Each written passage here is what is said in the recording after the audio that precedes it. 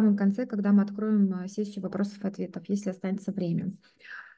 Итак, всем привет. Меня зовут Джилдыс Сатарова и я представляю агентство Global Compass. Сегодня у нас будет чат про а, обучение и карьеру а, и карь... Э, про обучение и карьеру в Японии.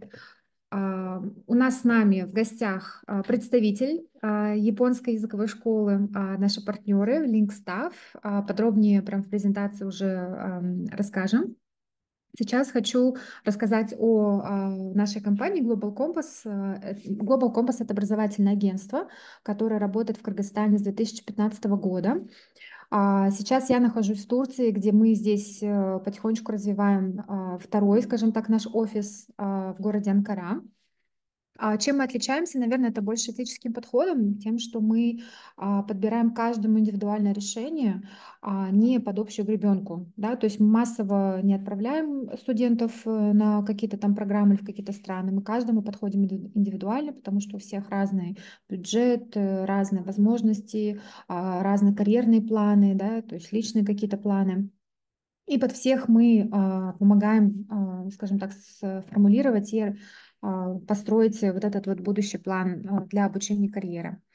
А у нас более 100 студентов ежегодно примерно уезжают в разные страны мира. То есть у нас студенты едут как в Японию, так и, там, и в Канаду, в США, а, в Австралию, по Европе, в разных странах у нас разбросаны студенты. Есть студенты и в Китае, Малайзии, и в Турции, где я тоже как раз, кстати, сейчас нахожусь. Поэтому мы отправляем по всему миру, и, соответственно, а, название компании, ну, я думаю, говорит само за себя, да, то есть мы глобальные и как компас помогаем а, выбрать направление.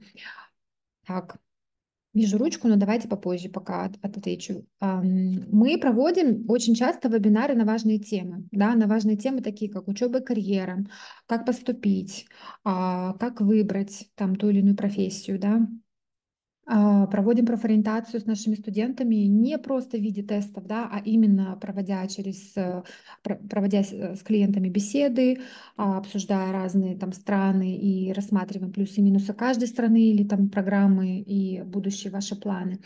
А, когда к нам партнеры приезжают, кстати, и я думаю, что вы, Лиза, тоже планируете приехать к нам осенью, мы надеемся провести с вами тоже семинар Будет здорово именно вживую тоже с вами встретиться, пообщаться и вам пообщаться тоже с потенциальными студентами, кандидатами.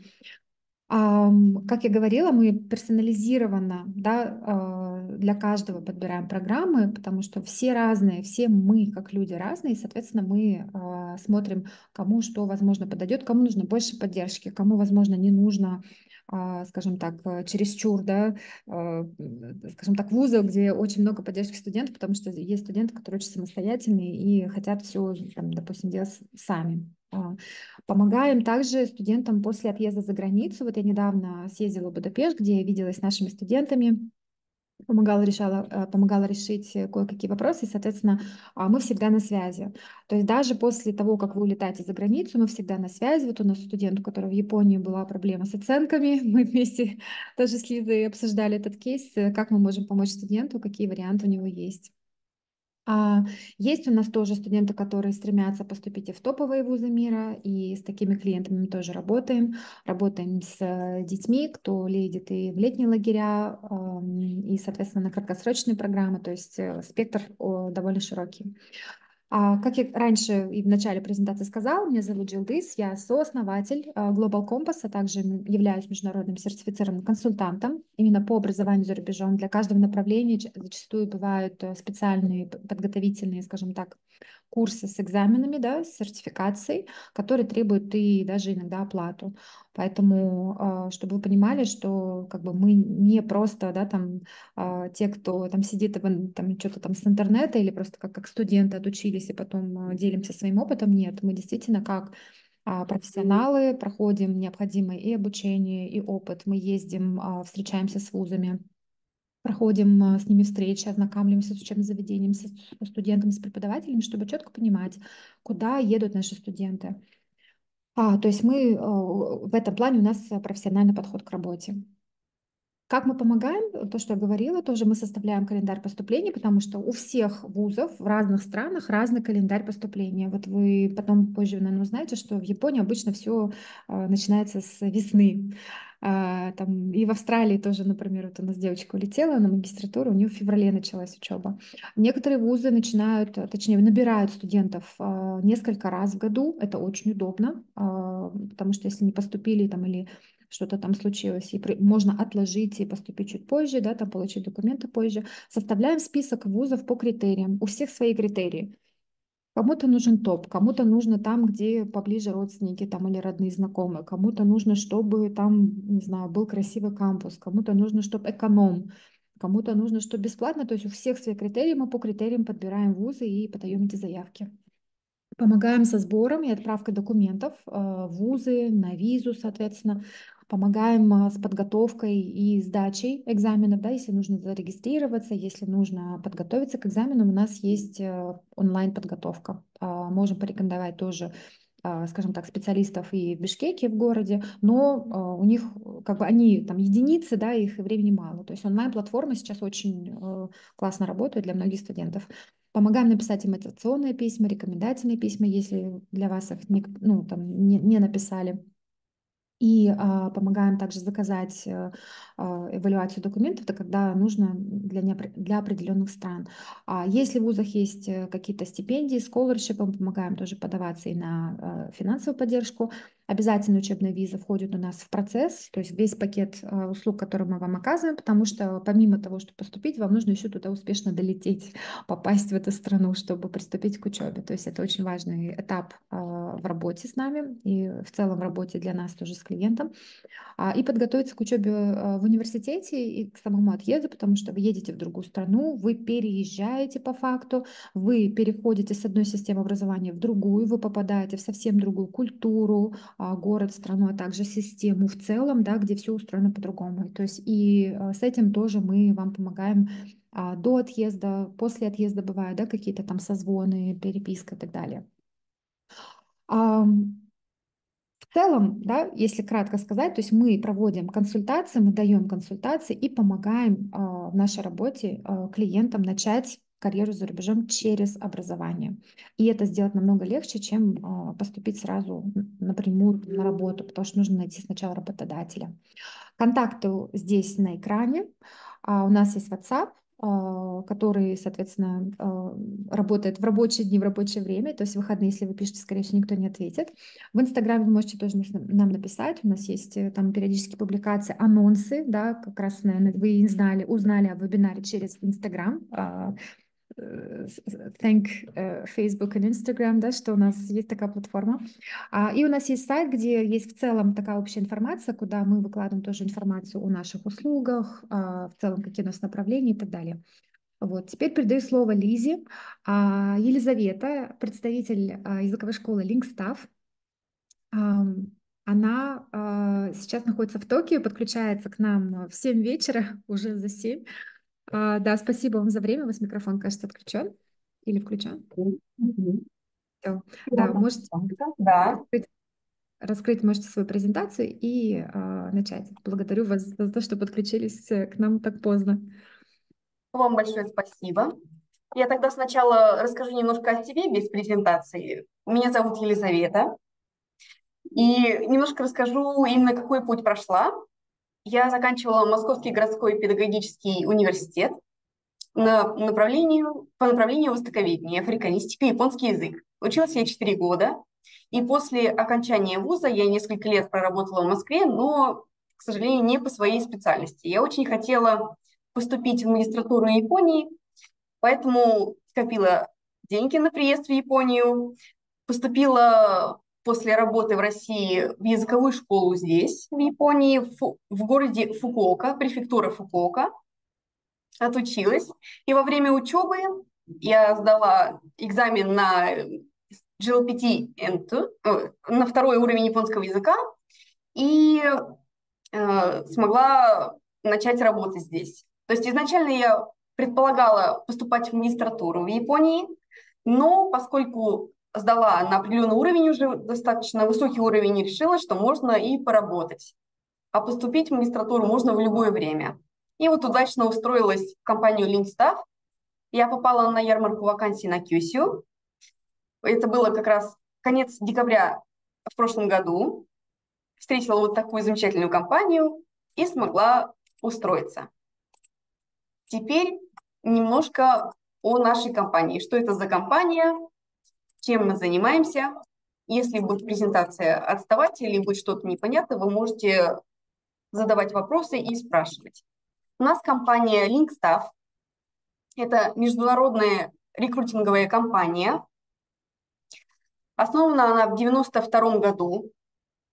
Основные офисы у нас находятся, главный офис в Токио располагается, но также у нас есть офисы и в Осака, в Нагое, Фукуока, и даже есть офис у нас в Бангладеше.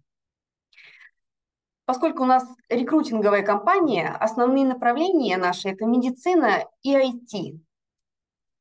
Но также у нас есть несколько, скажем так, команд, которые занимаются не только IT и медициной, но также и спецвизами, например, визами Токутей Гино, Гино Дишисей. Это специальная японская виза для тех, кто хочет работать в Японии, но, допустим, не по своей специальности. Или, может быть, по своей специальности в плане медицины. Это социальные работники, например, в больницах, на дому, работники отелей, работники ресторанов. ресторанов. Все эти работники относится к визам ТОКТ и ГИНО. Это спецвиза. Она выдается сразу на 5 лет. И мы тоже работаем с данной визой. Мы принимаем по данной визе сотрудников не только внутри страны, но и из-за границы.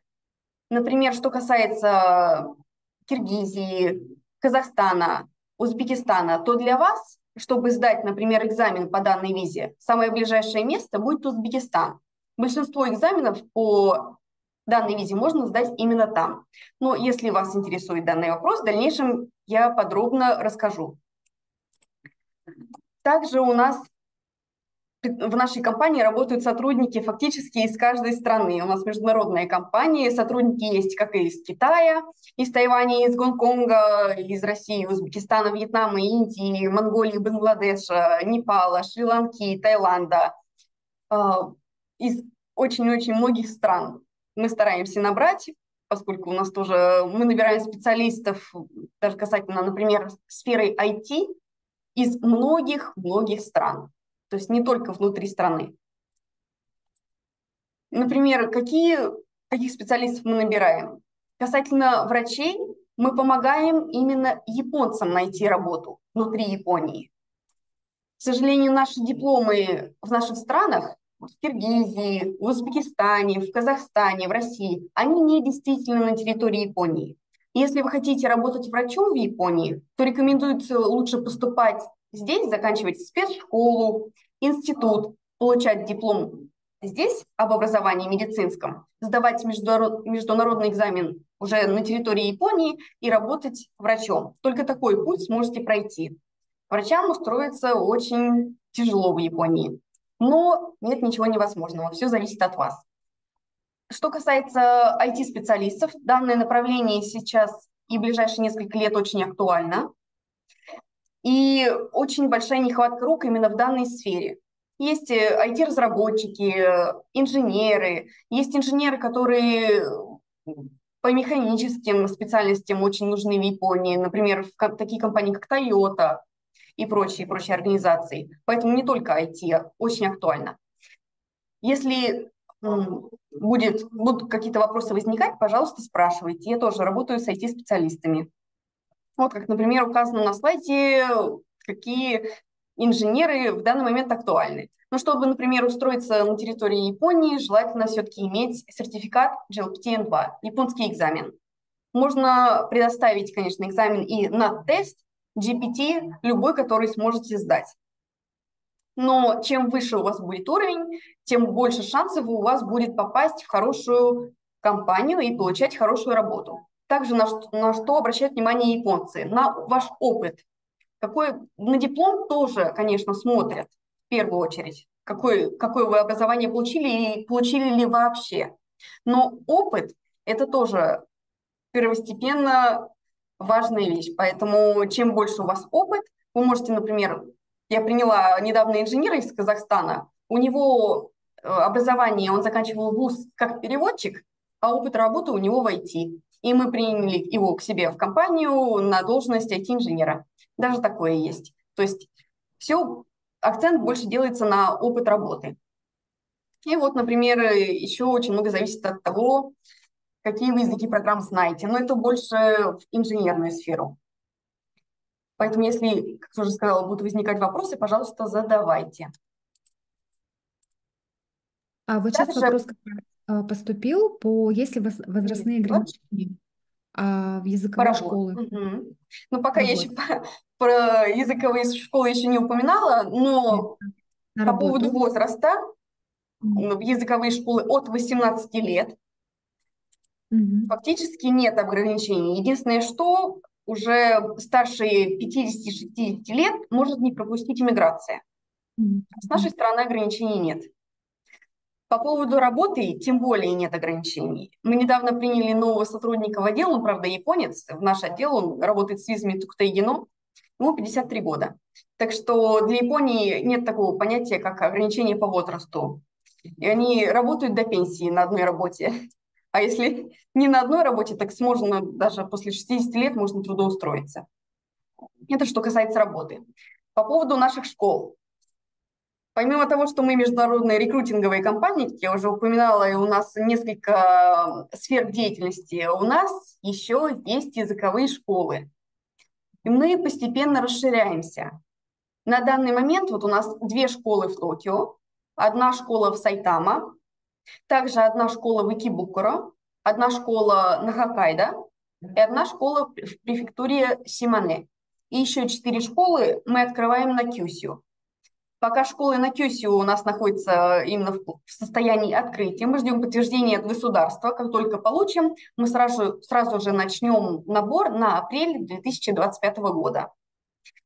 Поэтому мы постепенно расширяемся, и директор наш планирует э, в течение нескольких лет открыть не менее 100 языковых школ на территории Японии. Даже не только открыть, мы еще и покупаем языковые школы.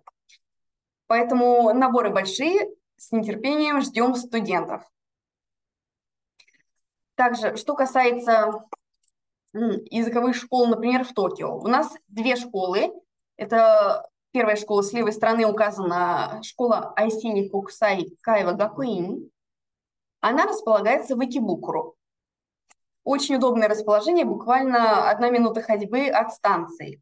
Она у нас одна из самых старейших школ. Открылась в 60, 1955 году. Сначала она обучала английскому языку студентов, но с 1963 года она обучает э, иностранцев японскому направлению, поэтому школа довольно опытная. С какой целью к нам поступают студенты в языковые школы? Всегда это две цели. Либо дальнейшее обучение в Японии, это может быть спецшкола, университет, бакалавр, магистратура, аспирантура, докторантура, либо колледжи, либо второе направление – это трудоустройство в Японии. Еще очень важный аспект, что с трудоустройством можем помочь мы как компания. Поэтому проблем с трудоустройством не будет. Местная школа готовит к трудоустройству в Японии. Помогает, например, угу. Прошу прощения. Здесь, да, я хотела как раз э, добавить, что а, вот это, наверное, самый главный слайд, который показывает а, вообще в целом суть презентации, да, что а, на данной презентации вы можете на данном вебинаре узнать о возможности как на, ну, прямого трудоустройства в Японии, да, а, конкретно через а, Linkstaff, да, и узнать все подробности у Лизы, так и как поступить на учебу. А, потому что есть э, ребята, которые планируют только обучиться японскому, да, если нет еще японского, и потом, может быть, рассматривать либо обучение, либо трудоустройство. Есть ребята, которые хотят только поступить в университет, может быть, топовый в Японии, и построить дальше карьеру после университета, да, поэтому а, как бы два варианта возможны. А об этих двух вариантах подробнее расскажет уже как бы сейчас Лиза в процессе презентации, поэтому дождитесь, э, терпения, вся информация будет. Да, спасибо большое. Если еще какие-то вопросы я пропускаю в чате, я их пока не вижу. Если что, вы тоже можете озвучивать. А, да, А, я Конечно. отвечаю. Да, если что, Спасибо я большое. буду включать микрофон и э, говорить. Мгм. Спасибо большое. Итак, по поводу курсов и целей я пока сказала. У нас есть несколько наборов. Само обучение в Японии начинается с апреля и заканчивается в марте.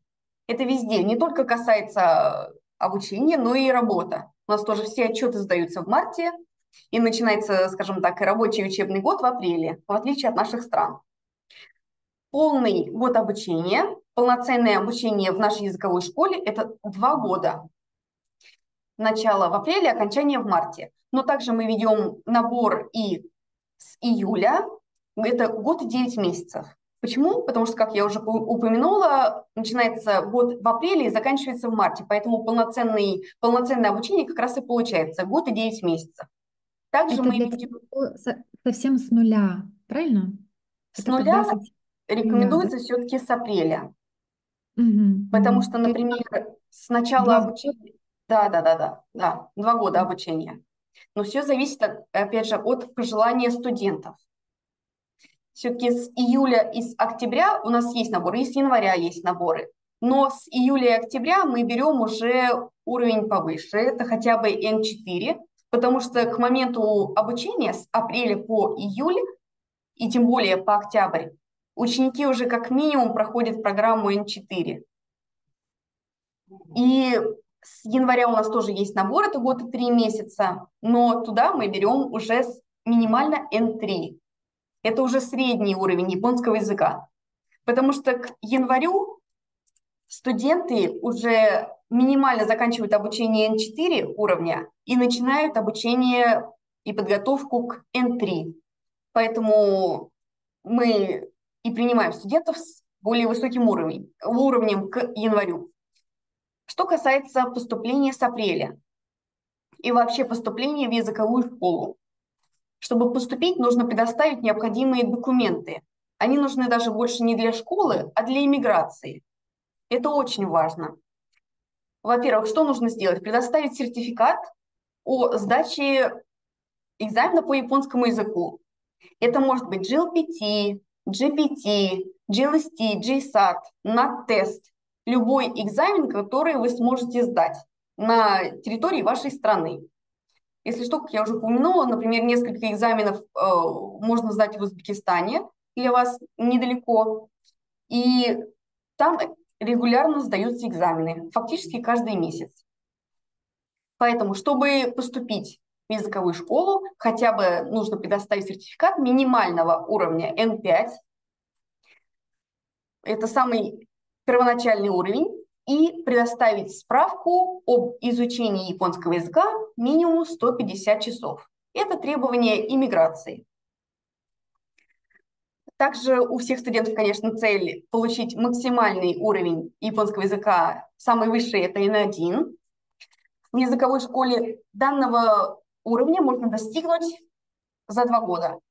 Минимально за год, при том условии, что уже вы поступаете с минимальной базой, как минимум N4, N3. При вашем желании можно за год достигнуть N1. Что касается стоимости обучения в наших школах. Если есть вопросы, вы можете, если что, параллельно включать микрофон и задавать, это тоже вполне возможно. У нас... Здравствуйте. Да, да, здравствуйте.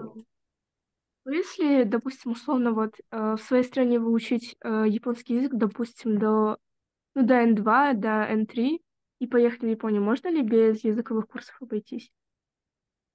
Да, конечно. Можно и без языковых школ, если вы сможете... Какая у вас цель будет? Если вы хотите поступить в университет, то лучше при себе иметь сертификат N2, лучше, конечно, N1. Потому что я уже говорила ранее о том, что, например, если будет прием студентов и будет стоять с вами европеец или другой человек, у кого будет сертификат N1, то возьмут его, если у вас будет сертификат N2. Чем выше, тем лучше. Для университета, чтобы поступить в университет на бакалавр, тем более на магистратуру, нужно знать как минимум на N2, а лучше всего на N1.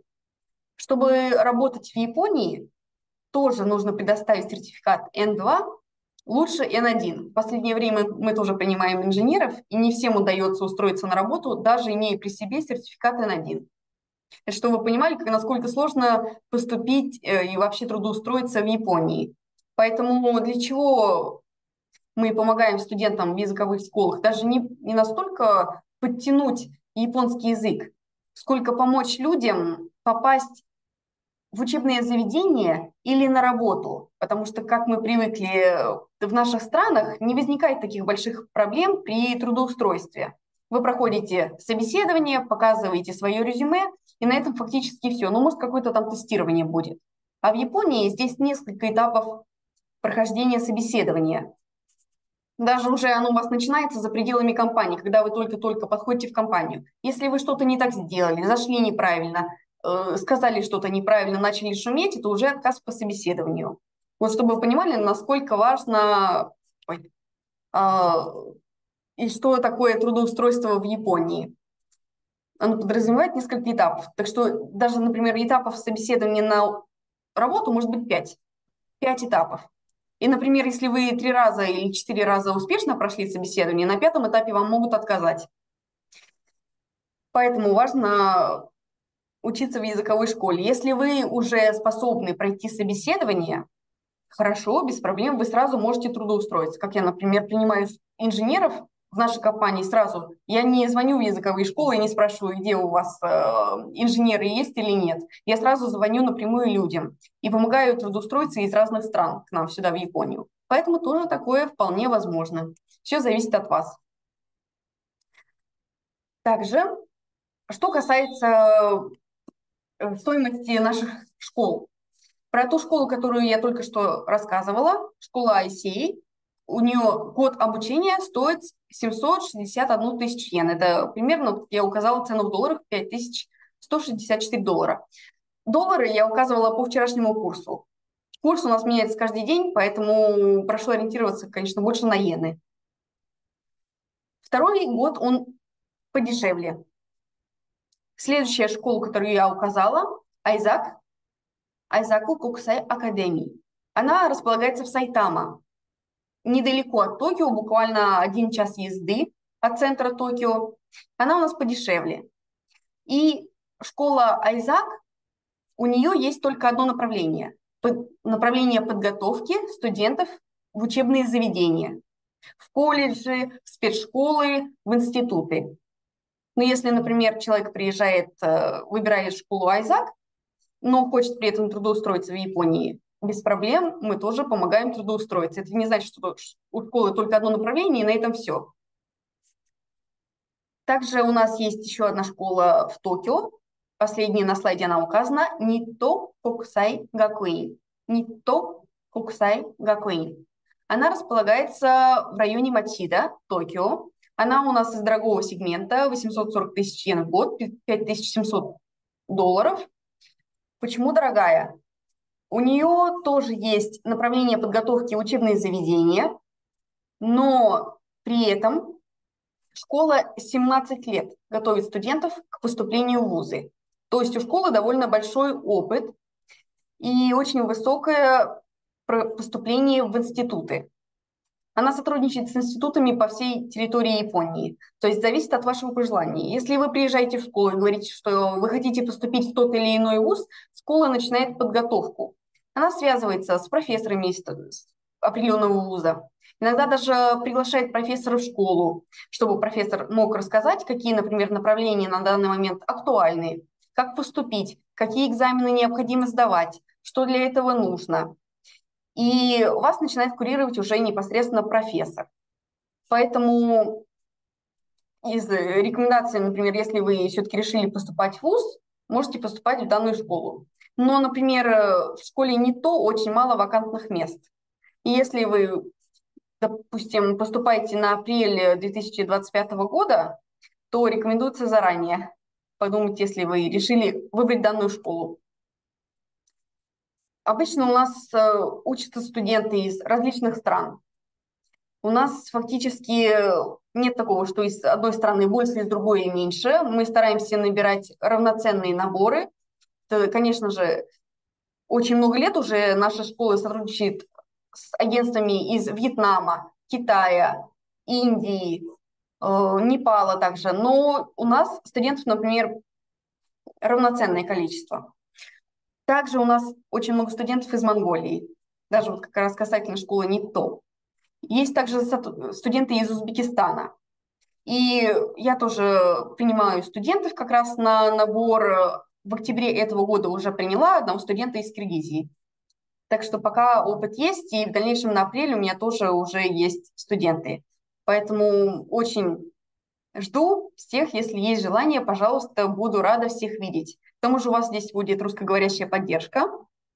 Если вдруг какие-то проблемы возникают, вопросы, то без проблем все решается, и я могу подъехать к любой школе и решить проблему.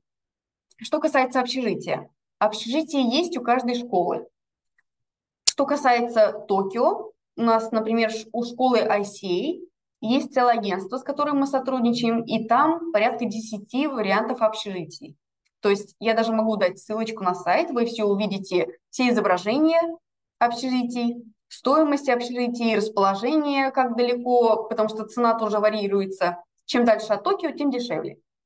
Поэтому, чтобы вы могли ориентироваться приблизительно в Токио 30 тысяч йен в месяц, ну это просто аренда без света, газа и воды, потому что все это будет зависеть от вас, сколько вы расходуете.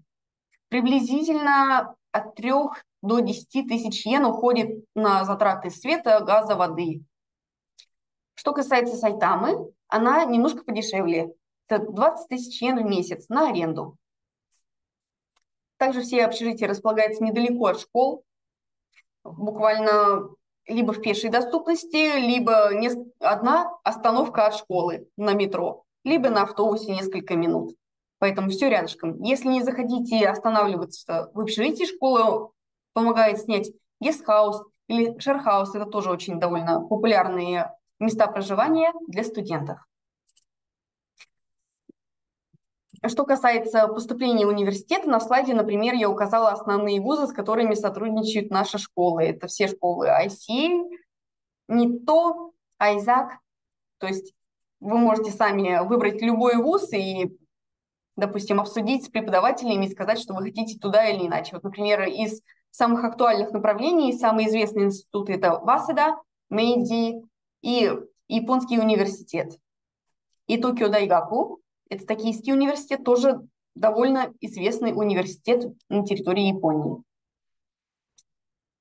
Также хотела бы упомянуть нашу новую школу. У нас открылась школа в префектуре Симане. Она располагается рядом с префектурой Хиросима. Мы ее только-только недавно приобрели. И мы начинаем набор в эту школу уже на апрель 2025 года. Школа Ханамару. Вот вы можете на слайде увидеть примеры фотографий нашей школы. Слева вверху это пример класса. Вот такие парты у нас. С правой стороны небольшая библиотека располагаются книги. В основном в библиотеке, вот в небольшой библиотеке указываются рекламки. Или, например, э, вы можете увидеть брошюрки университетов или, например, вакансии на подработку, вакансии в различные компании. Все вот там располагается. И это касается любой школы. То есть вы приходите, и у вас, когда вы заходите в школу, можете увидеть такой стендик с различной информацией. Слева внизу располагается комнатка, где у нас работают педагоги. Педагоги бывают двух типов. Те педагоги, которые обучают японскому языку, конечно, все носители японского языка, все японцы. И еще один тип преподавателей – те, кто работают со студентами, курируют студентов, помогают, помогают, например, по мэрии, помогают по приезду, встречают студентов. Все они работают вот в такой комнатке. И справа внизу указана еще одна комнатка, это холл, где проводятся различные мероприятия. фактически каждая школа каждый месяц устраивает различные мероприятия.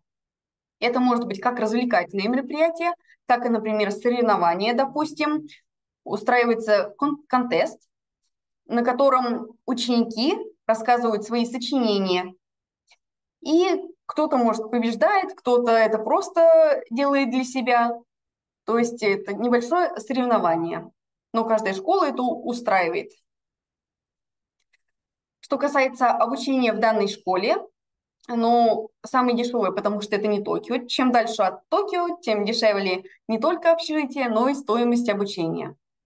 Вот, например, обучение в данной школе стоит 700 тысяч йен, а стоимость проживания 240 тысяч йен, ну, я указала это за год проживания. Чтобы вы понимали, полгода проживания в Токио, вот, например, в школе Айзак и в школе НИТО приблизительно от 200 до 240 тысяч йен за полгода. А стоимость, вот я указала на слайде, это годовое проживание. Что касается подработки, каждый студент, который учится в языковой школе, имеет право подрабатывать до 28 часов в неделю.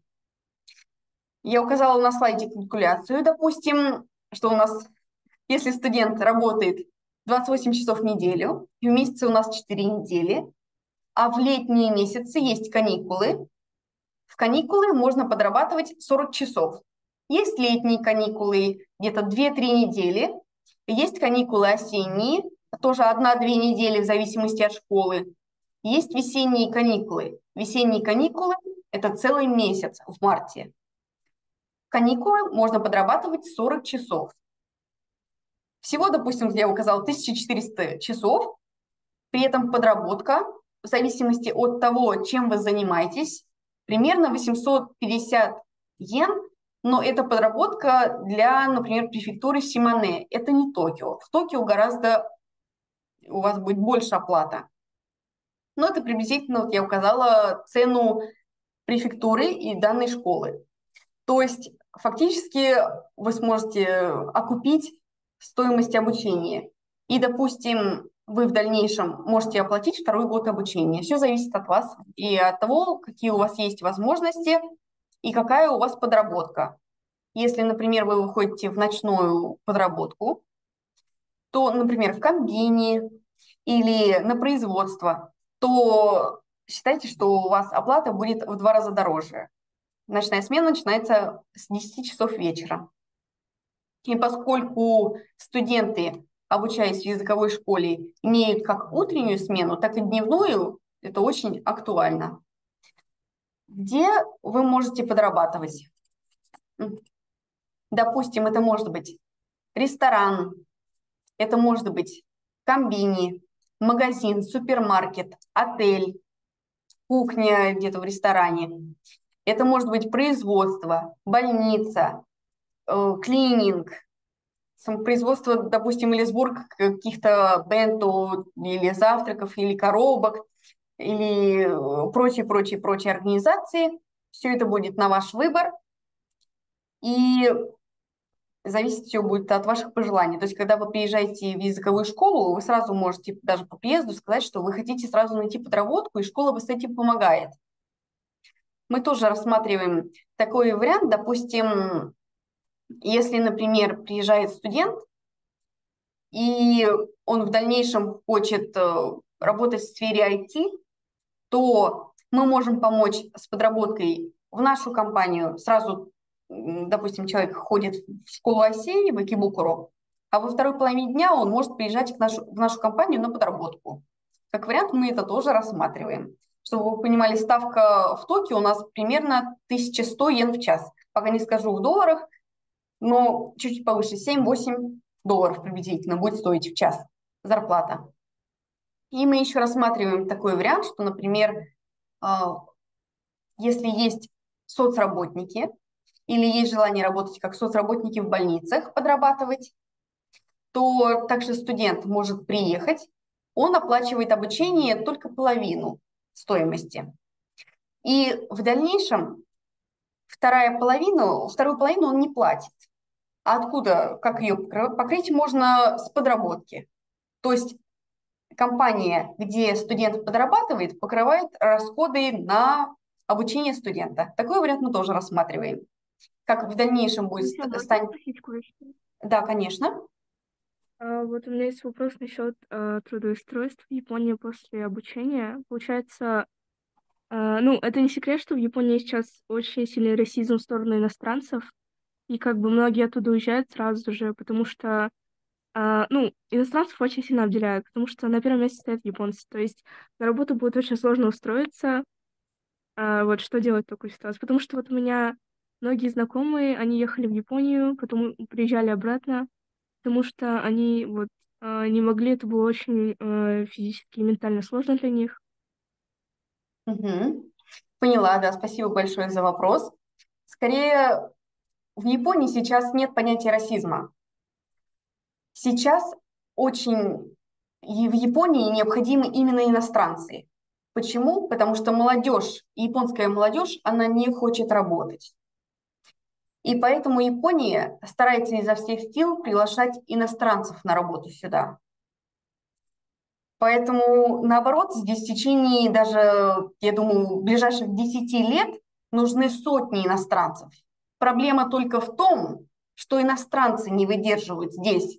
Кто-то приезжает сюда и не понимает, что Япония – это страна, где необходимо работать. Даже когда вы приезжаете в языковую школу, в институт, Э, на работу, вы должны понимать, что японцы хатараки-бати, это трудоголики, и во всем нужно трудиться. Японцы не понимают, что в Японии есть такое понятие, как дзангё, это переработка. Это может быть и в учебе, и на подработке, но на подработке это в меньшей степени, но касательно работы, да. Мы вот работаем, вот у меня по факту в договоре я до 7 работаю, а я перерабатываю на 40-50 минут. И это нормально для Японии. Просто есть те, кто не воспринимает и не хотят здесь работать, и от этого просто бегут. И поэтому у всех сложилось такое впечатление, и у вас тоже в первую очередь, что мы как-то как здесь иностранцев обделяют. Здесь Япония в первую очередь вне политики.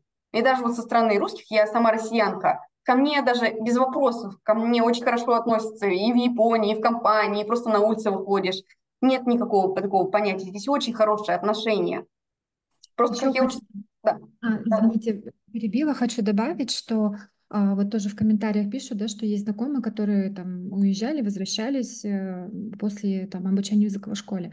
То есть и школы тоже разные, чтобы вы понимали. Есть школы, которые просто дают курс, все и до свидания, да. То есть э, есть школы, которые заточены на подготовку дальнейшего университета, есть школы, которые заточены на потом дальнейшее трудоустройство, потому что а конкретно школу, если мы говорим про Linkstaff, да, то есть сама компания — это рекрутинговая компания, и она работает со школами для того, чтобы подготовить кадры для своих партнеров. То есть уже поставлен конвейер для того, чтобы иностранцы приезжали, подтягивали японский, помимо курсов японского, чтобы им там была поддержка. Вот а, почему некоторые не выдерживают и уезжают, потому что им никто не объясняет вообще, а, вот э, Лиза говорила, да, как находить э, правильно работу, как подаваться правильно на работу, потому что вы приезжаете в другую страну, где совсем культура подачи, поиска работы кардинально отличается от того, как это делается, например, в Кыргызстане. Там очень много этапов, там могут придраться прям, ну, скажем так, очень селективные люди, если прям так э, упрощенно сказать, то есть вы проходите через э, несколько там этапов, да, для, даже на простую позицию. Потому что, как бы, да, кандидаты есть, может быть, есть японцы, но в основном это все-таки иностранцы. Вот. И за счет того, что все-таки население Японии все меньше и меньше, да, и молодежь уже такая капризная, Поэтому они понимают, что за счет только иностранцев они могут э, как-то, но они не понижают свои стандарты, чтобы вы понимали. И очень важно тоже выбирать ту школу, которая вас подготовит, которая вам объяснит, как это все работает в Японии, которая поможет пройти все вот эти этапы. А те, кто, возможно, пробовали, не находили, сталкивались с чем-то, да, то есть у них не было вот этой поддержки. То есть у них не было вот этого построенного уже там построенной системы, да, где людей готовят, трудоустройства, да, и, соответственно, либо к дальнейшему поступлению, где вам э, объясняют, какие должны быть у вас ожидания и какие ожидания есть и у самих японцев от э, вас как от иностранцев.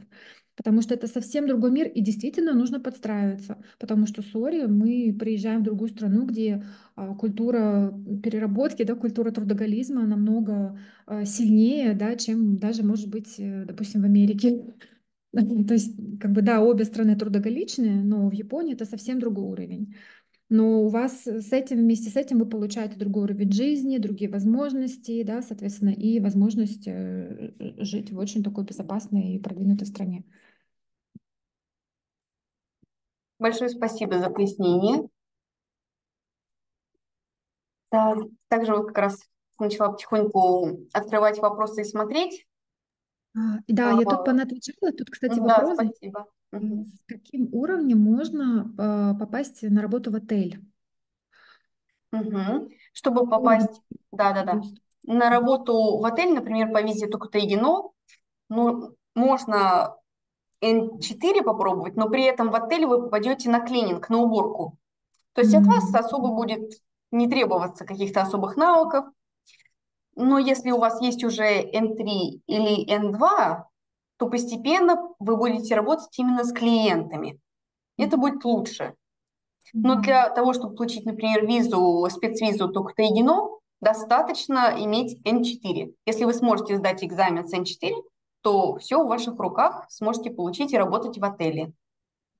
Сейчас Еще очень большая нехватка, да, прошу прощения, что перебила, именно рабочих рук не хватает э, в соцсфере, как социальные М, работники, поэтому туда немножко легче попасть.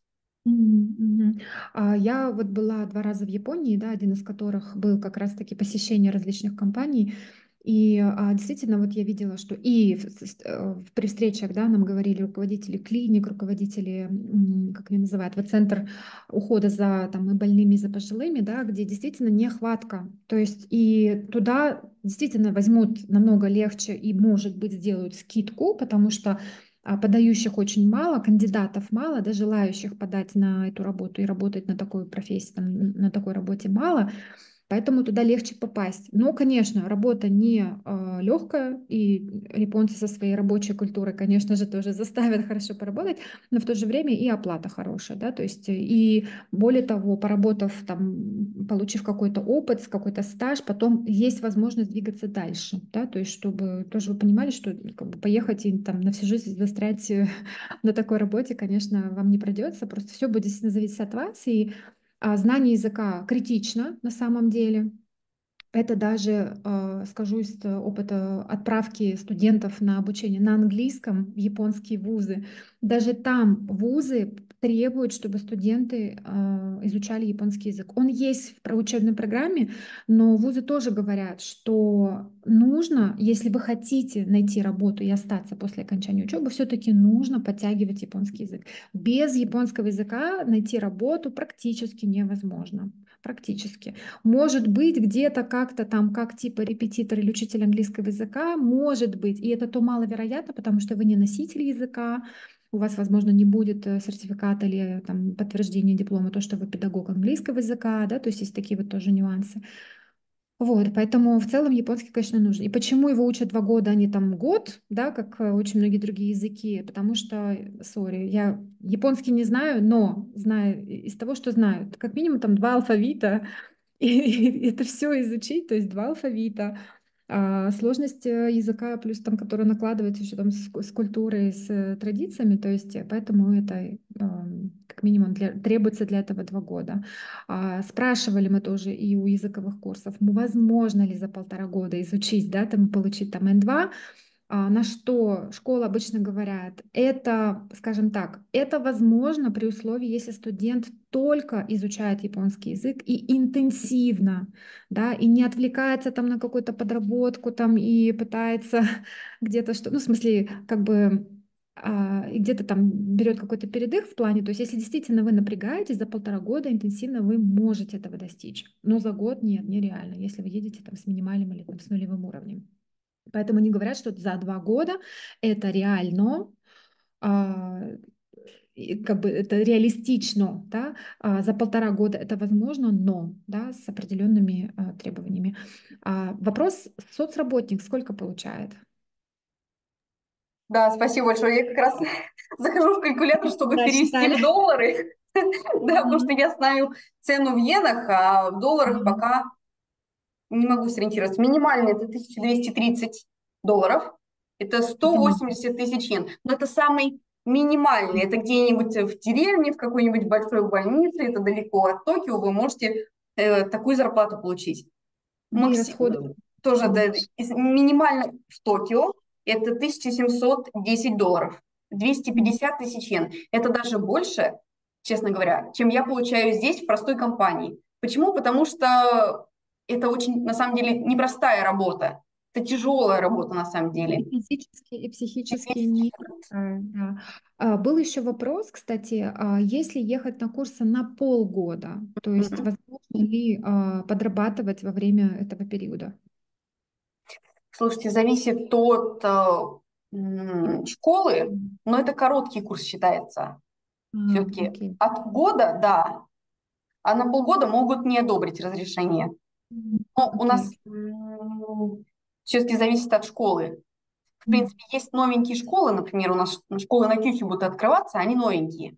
И там, в принципе, будет выдаваться виза на полгода, то есть не на год, а сначала выдается виза на полгода. Поэтому, если в дальнейшем там будете продлевать, не будете, то подработка возможна. Единственное, где вот прям 100% невозможна подработка, это на краткосрочной программе по туристической визе. Если у вас туристическая виза до 90 дней, вы не имеете права подрабатывать, подрабатывать в Японии. Это запрещено именно иммиграцией. От полгода, я думаю, что проблем не должно возникнуть. Что, еще это, как раз возвращаясь немножко к вопросу, что писали, писали и говорили уже, что из языковых школ тоже бегут люди. Почему бегут? Это тоже не все выдерживают, во-первых, учебу здесь. Потому что должны тоже понимать, что студенты, помимо того, что ходят в школу и учатся 4 урока по 45 минут, должны вы приходить домой и выполнять домашние задания. А если у вас, допустим, нет возможности оплатить в дальнейшем школу, вы начинаете каждый божий день выходить на ночную смену, вы очень устаете, то, конечно, не у всех хватает сил и вообще продолжать здесь учиться и вообще строить какие-то планы. Поэтому, если вы приезжаете с целью, и у вас есть цель, допустим, поступить в ВУЗ или устроиться работать в Японии, тогда будьте готовы к тому, что придется очень много работать в плане и языка, и учебы, чтобы не сбегать потом в дальнейшем из языковой школы. А, За сколько лет можно получить гражданство в Японии? Какие требования? Минимально за 5 лет можно получить гражданство в Японии. Самый быстрый способ – это, в моем случае, выйти замуж и остаться в Японии. Это самый оптимальный способ получения гражданства, многим этим способом пользуются. Но если вы здесь проживаете 5 лет и в дальнейшем получаете работу, только при этом условии, что вы несколько лет еще при этом проработали в Японии, вы можете подаваться на гражданство, если вы еще ничего не нарушили за это время. Допустим, даже смотрится, проверяется все ваше пребывание в Японии касательно дорожного движения, не нарушали ли вы правила или нет, на подработке нарушали ли вы часы, какие вы еще там нарушения. Если без проблем ничего нет, тогда да, все хорошо, вам выдается. При этом вам звонят в компанию, в которой вы работаете, проверяют, действительно ли вы там работали, ходите ли вы регулярно в компанию, успехи есть у вас или нет, все проверяется. То есть устраивается интервью в компании. Если у вас все хорошо, тогда, да, выдается вам японский паспорт. Можно поменять. Единственное, что придется вам расстаться со своим паспортом в вашей стране и получить японский паспорт. Моя помощь бесплатно в, данном случае. Я и так для вас все делаю и в любом случае могу вам помочь. Поэтому даже когда вы находитесь здесь и в дальнейшем вы планируете трудоустроиться в Японии, моя помощь тоже будет в данном случае бесплатна. И любое курирование на территории в Японии тоже будет безвозмездно. Также еще какой-то был вопрос. А, самый главный еще вопрос по поводу поступления в школу и требования к получению к документов. Банковский счет. Да-да, это самое важное. Э, ну, давайте сначала по поводу диплома. Чтобы поступить в языковую школу, в иммиграцию нужно предоставить диплом об, об окончании полного образования. Это либо 12 или 11 лет в школе, в зависимости от вашей страны, какое у вас есть образование, но оно должно быть окончательное. Либо диплом с последнего места учебы, это может быть вуз. Бакалавр, магистратура, то есть конкретно последнее место учебы. И, конечно же, касательно документов, все документы должно, должны быть переведены на японский язык. Заверять не обязательно, но перевод должен быть обязательно. И что касается спонсора, тоже очень важный вопрос, потому что когда вы поступаете в языковую школу, вы можете сами себе выступить по спонсором, если вы уже работаете. Если поступает студент, ученик, ребенок, ну, от 18 лет, только-только закончивший школу, то, естественно, спонсором должны выступать родители, родственники, родители, но подтверждение должно быть обязательно. Данный спонсор должен предоставить документ с работы. Если касается школ, которые находятся в Токио, то за последний год работы, что данный работник работает уже год в такой-то компании. Если касается нашей новенькой школы Ханамару, она только-только прошла квалификацию в посольстве, поэтому туда нужны документы за три года. За три года работы, банковские документы тоже за три года. Что касается банковского документа, нужно предоставить два документа. Это справка о зарплате, о получении зарплаты. Школы в Токио за один год. То есть как, какую зарплату вы получали за этот год спонсор получал. Также нужно предоставить банковскую выписку о расходах и доходах за год. И также банковский счет, на котором находится минимально 20 тысяч долларов. Это очень важные документы для иммиграции. Именно эти документы школа относит в иммиграцию в бумажном виде. И иммиграция тщательно проверяет каждого студента, способен ли студент заплатить за учебу, не способен. Если не способен, тогда приходит отказ по визе. Если вдруг возникают какие-то вопросы у иммиграции, откуда взялись средства на том или ином счету, то тоже может прийти отказ по визе, если иммиграция не сможет удостовериться в достоверности данных. Прошу прощения за тавтологию. Но это действительно очень важно для Японии. Япония любит бумажную волокиту. И на каждого студента в японской иммиграции лежит стопка документов. И проверяются все документы минимально три месяца. Через три месяца после проверки, в течение проверки, приходит результат. Либо да, либо нет.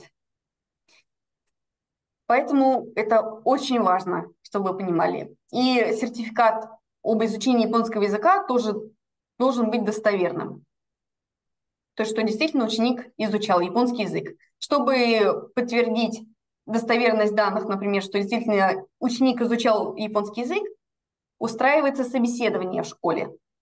То есть устраивает его директор. Я тоже подключаюсь к собеседованию, я могу с вами тоже пройти первый этап собеседования еще до того, как подключается директор, чтобы посмотреть и помочь вам ответить на те или иные вопросы потому что я знаю основной перечень, но собеседование устраивается. То есть директору нужно подтвердить и посмотреть, что за ученик хочет ехать в ту или иную школу. А, хорошо, я могу подключить презентацию, ну и какие данные вам нужны, я могу их, если что, еще и озвучить. Я просто параллельно увидела в чате вопрос, я могу просто слайд открыть по поводу школы или какой конкретно вам нужен слайд. Уточните, пожалуйста. Вот, это что касается документов, которые необходимо поступ... с которыми необходимо поступать э, в языковую школу. Список вам вышлю, могу выслать я, или уже Желды сам вам вышлет полный список всех документов и может вам помочь с документами в первую очередь. Документы, когда вы собираете, мы проверяем, я проверяю, проверяет директор и только после тщательной проверки мы относим в эмиграцию. Поэтому с нашей стороны проверка проходит э, несколько этапов. Вашей компании. Хорошо. Если еще есть какие-то вопросы, пожалуйста, спрашивайте. Параллельно отвечу. Из рекомендаций, конечно, поступать в языковую школу сразу, если вы решили приезжать в Японию, потому что лучше не терять время в вашей стране, но это на мой взгляд, потому что я, например, могу сказать, что я закончила вуз в МГУ, как я уже упоминала в самом начале, на востоковедении, но за 4 года, вот я могу сказать, что прошла весь этап за 2 года в языковой школе.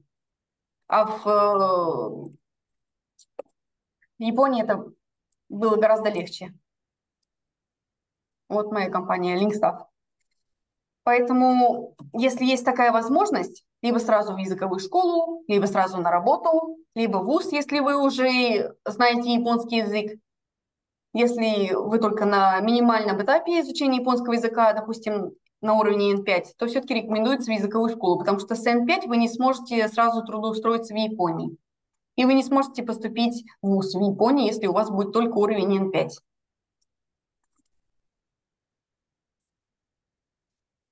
Пока вот так. Если есть какие-то вопросы, пожалуйста, задавайте.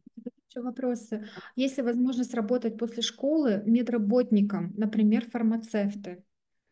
После языковой школы нет.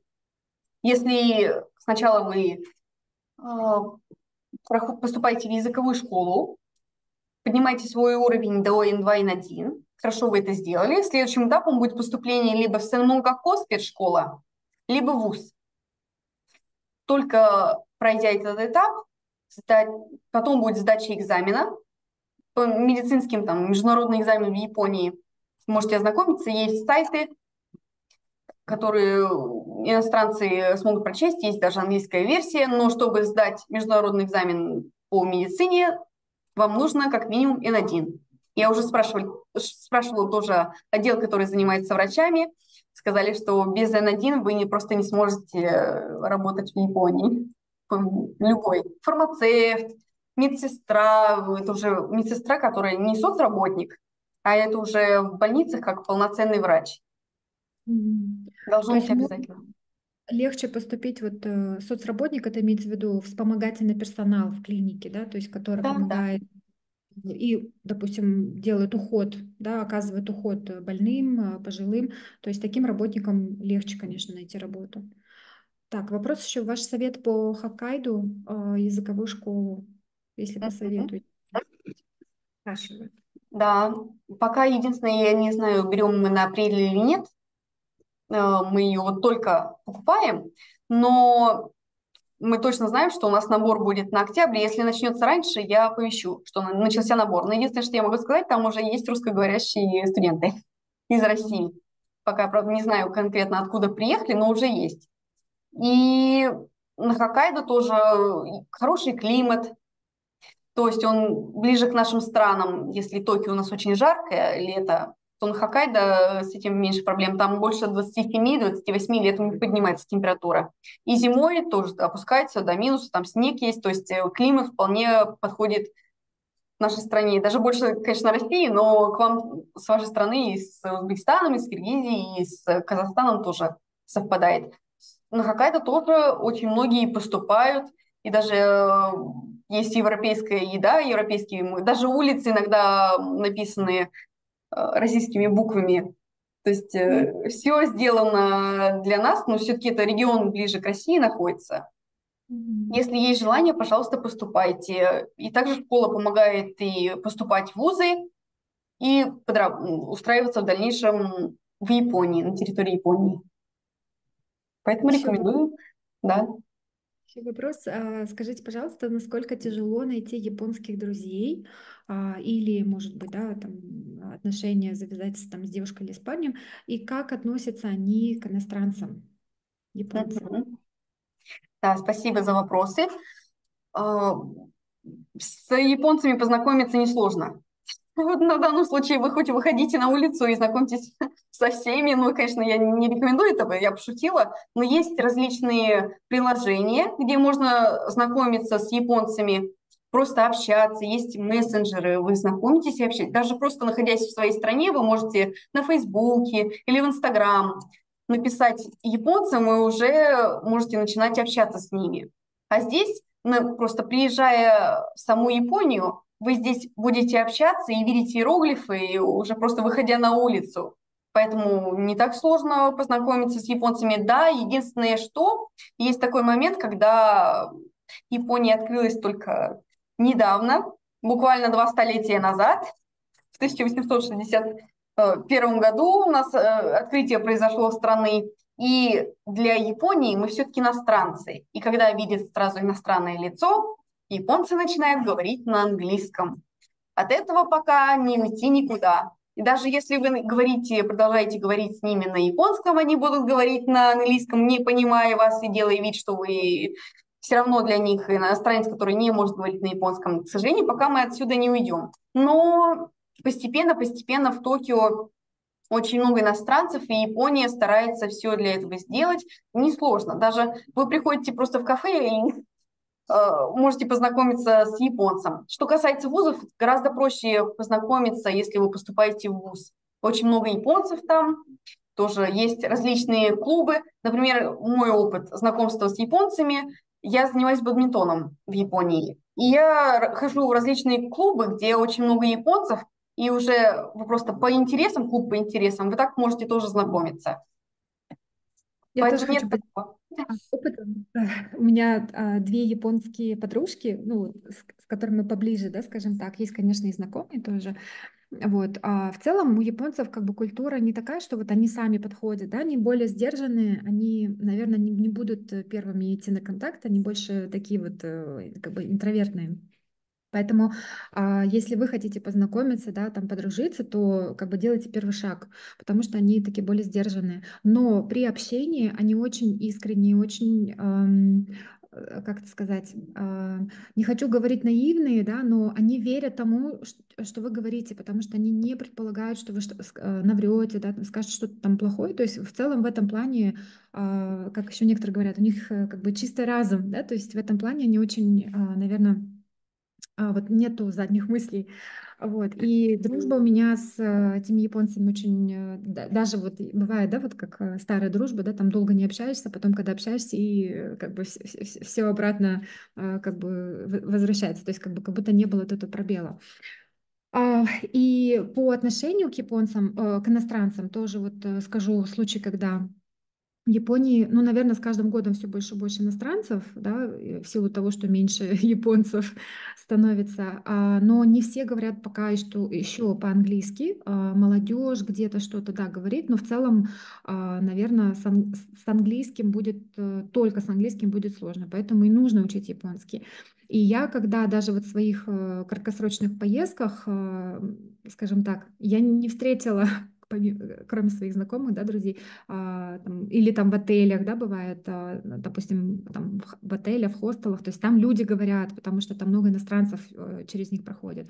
Но помимо этого, а, других англоговорящих японцев я как бы не встречала. Были моменты, когда вот мне просто нужно было найти а, туда, куда мне нужно там дойти навстречу, да, я останавливала прохожих людей, чтобы мне помогли даже если они не понимали меня, и я не понимала, что они говорят, то есть не было вот этого одного языка общения, да, и был этот языковой барьер, мне все равно пытались помочь. То есть они, может быть, куда-то там спешат и торопятся, но они все как бы вот это откладывают свое и идут, помогают, да, то есть э, у меня два раза был такой, э, такой случай, когда там метро не могла разобраться и там найти путь, э, меня я остановила девушку, она не могла объяснить мне, потом в итоге подошла к, не кондуктору, вот кто вот билеты там продает, там что-то там спросила, в общем, и мне помогли. А другой раз, когда я там по улице шла, тоже не могла понять, где там на карте, куда мне показывают и куда дальше идти, тоже остановила человека, ну там в костюме, видимо, на работу спешил. Он, бедняжка, через свой телефон уже там открыл и начал помогать и довел меня туда, куда надо, да. То есть вот это а, отношение, думаю, это прям как бы сильный показатель того, что они очень уважительны, они очень уважительны вообще в целом к людям, к живым существам, то есть уважительны ко всем. И а, не не нарушают тоже личные границы, это тоже очень важно, помнить о том, что э, не нарушая чужие, они, соответственно, ожидают, что и вы тоже их не нарушите, да, поэтому нужно очень быть с ними в этом плане деликатными.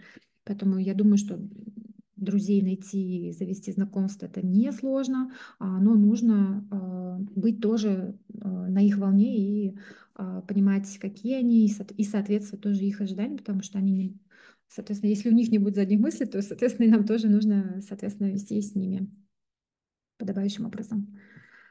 Так. Да, спасибо. Еще тоже хотела сказать э, про английский язык. Вот честно, это лично мое мнение, но лучше бы они по-английски не говорили. Мне очень тяжело. Я очень очень тяжело воспринимаю их английский язык, потому что это больше похоже на катакану. И когда ты слышишь, ты думаешь, что это просто не английский. Они mm-hmm. очень стараются, я все понимаю, но это не их язык английский. Но есть, правда, те японцы, которые очень хорошо говорят. У нас вот э, сын-директор, он, правда, у него была стажировка в Израиле, поэтому он очень хорошо говорит на английском. Есть такие, но их очень мало. Ну, есть японцы, которые учились за границей, да, там, или какой-то опыт уже работы или учебы, или там общения с иностранцами, вот у них, э, конечно, да, есть английский, есть с ним, в принципе, все в порядке, но таких немного. Uh-huh. Я работаю в Японии, поподробнее хотела бы узнать а, по WhatsApp или как можно с вами связаться. Вы можете связаться с нами, а, Нурбубу, да, и тогда, соответственно, мы узнаем, какие у вас э, на данный момент, э, какая ситуация там с документами и какие у вас дальнейшие планы, чтобы потом подобрать вам подходящий курс. Потому что еще напомню, что японцы не делают last minute да, requests какие-то. То есть не бывает такого, как срочно, быстро, в последнюю минуту. Э, регистрация на курсы делается как минимум за полгода, минимум. Потому что визу, если около трех месяцев рассматривать, соответственно, еще до визы, чтобы подать, нужно оформиться, оплатить, э, убедиться, что у вас все документы все готовы, все, все уже в сборе. Поэтому минимум за полгода. То есть э, меньше, чем за полгода, это менее реалистично. Это только в случае, если у вас, возможно, уже есть все наличие. Так, хочу изучить японский, но нет больших средств на курсы. Возможно ли самому подготовиться к японским университетам? Конечно, возможно, но при этом, как я уже сказала, чтобы поступить в университет, нужно как минимум иметь э, сертификат N2, а лучше N1. Вы можете подготовиться. Но вопрос в том, сколько времени вы на это потратите. Э, три года, четыре года, пять лет, шесть лет, чтобы в своей стране подготовиться, если вы при этом примерный ученик, да, но минимум 3-4 года вы потратите в своей стране, а здесь, в Японии, вы это сможете достигнуть ну, за год. Конечно, тяжело, но можно, но все-таки за два года вы уже сможете достигнуть N2, N1 и поступить легко в ВУЗ. Опять же, все зависит от вас. Я, конечно, понимаю, что мы все не миллионеры. Здесь очень важно помнить, да, что когда вы едете в языковую среду, у вас изучение языка скорее, быстрее, потому что вы постоянно, э, вам, и вам приходится использовать, да, там, вы постоянно будете слышать речь, вам придется даже в магазин пойдя использовать японский, потому что, ну, сори, там тоже не говорят по-английски.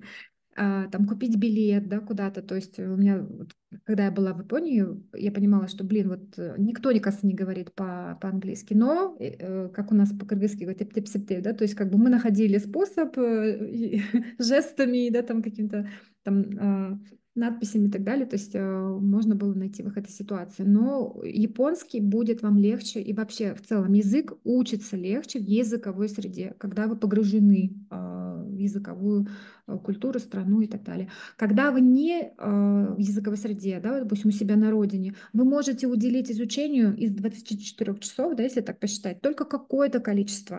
То есть, допустим, в день вы можете, ну, там, допустим, даже если мы взять активный, там, сколько мы, 8 часов спим, да, если а, остается у нас э, там 16 часов, из них, да, там, ну, убрали там 4 часа, 8 активных рабочих, да, вы сколько можете в день позаниматься? Ну, 3, ну, 4, да, больше, чем 4, наверное, вряд ли, потому что есть, вам нужно куда-то там ездить, транспорт, да, а, плюс там, а, я не знаю, какие-то другие свои обязанности дома и так далее. То есть вы отвлекаетесь, и вам там звонят, и вы используете в жизни, в быту уже свой родной язык. Поэтому такого интенсивного изучения и такой подготовки не будет, как в языковой среде. Да, конечно. Еще у вас есть возможность, например, что касается языковой школы, то я уже упоминала, есть возможность подработки.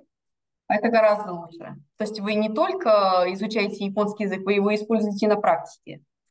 И касательно подработки, я уже упомянул, даже если вы минимально знаете японский язык на уровне приветствия, вы тоже сможете подрабатывать. Просто это будет легкая какая-то работа, вам будет указывать возьми то, возьми это на первом этапе. Когда вы уже начнете говорить, вы сможете устроиться на подработку в лучшее место. Но при этом у вас будет опыт. Например, общение с клиентами, общение с японцами. Вы будете постепенно запоминать японские слова непроизвольно, и усвоение японского будет гораздо проще. А, но для тех, кто хочет все-таки начать учить язык на родине, да, чтобы поднакопить средства, возможно, да, потом поехать. У нас э, в Кыргызстане, вообще обычно в каждой стране есть э, японские центры. То есть у нас есть кыргызско-японский ресурсный центр krgc.kg, да, я что я сейчас напишу даже вот сюда на а, в чате. Вот э, на этом сайте, и у них, кстати, я видела недавно объявление в Инстаграме, что они запускают сейчас японские а, курсы, да, курсы японского языка с различной длительностью. То есть там а, за три месяца, кажется, у вас будет, э, или за полгода, точно не помню. То есть вы набираете 80 часов, 80 часов там, за курс. И, соответственно, для того, чтобы потом в итоге подать тоже на курсы в Японию, вам нужна справка, да, что, то есть вы с нулем, э, с нулем ехать вам не рекомендуется. Почему? Потому что вам могут отказать в визе. И вам рекомендуется все-таки пройти курсы и получить подтверждение, что вы прошли 150 часов да, то есть пройдя, допустим, два вот таких курса, вы можете получить такую справку, а, если у вас уже нет какого-то уровня. Если какой-то уровень есть, соответственно, сдавайте экзамен, получаете сертификат, да, и подавайтесь. А, поэтому можете начать с изучения языка, а, допустим, в Бишкеке, да, в ресурсном центре, Два раза в неделю у них есть занятия и разовые тоже раз в неделю. Ну, раз в неделю, я думаю, очень мало. Я, я, я советую два раза как минимум. Вот. И периодически тоже самому использовать, наверное, а, там, допустим, видео с э, субтитрами, да, там дополнительно еще заниматься.